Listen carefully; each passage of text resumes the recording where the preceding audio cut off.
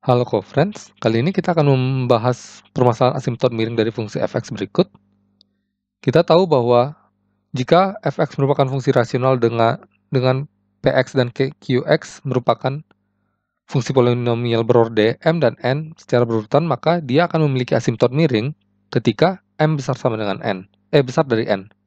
Jadi, kita tahu bahwa pembilang dari fungsi fx kita adalah berorde 2, sedangkan penyebutnya adalah berorde 1. Maka, kita bisa menyimpulkan fx memiliki asimtot miring. Dan asimtot miringnya itu apa? Adalah merupakan hasil dari pembagian x kuadrat tambah 3x tambah 3 dibagikan dengan x tambah 1. Jadi kita bagi x kuadrat tambah 3x tambah 3 dibagikan dengan x tambah 1.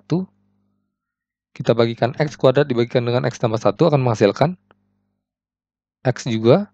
Lalu kita kali x dikalikan x tambah 1 kita akan menghasilkan x kuadrat tambah x. Kita kurangkan. Ini akan menghasilkan 2x tambah 3. Lalu kita bagikan 2x tambah 3 dibagikan dengan x tambah 1 akan menghasilkan x tambah 2 x tambah 2, eh 2 dikalikan x tambah 1 akan menghasilkan 2x tambah 2. Lalu kita kurangkan menjadi 1. Jadi di sini adalah hasil pembaginya. Dan di sini adalah sisanya. Jadi kita bisa mengubah bentuk fx menjadi x tambah 2 ditambahkan 1 dibagikan dengan X tambah 1.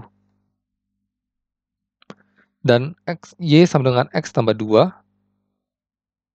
adalah asimtot miringnya.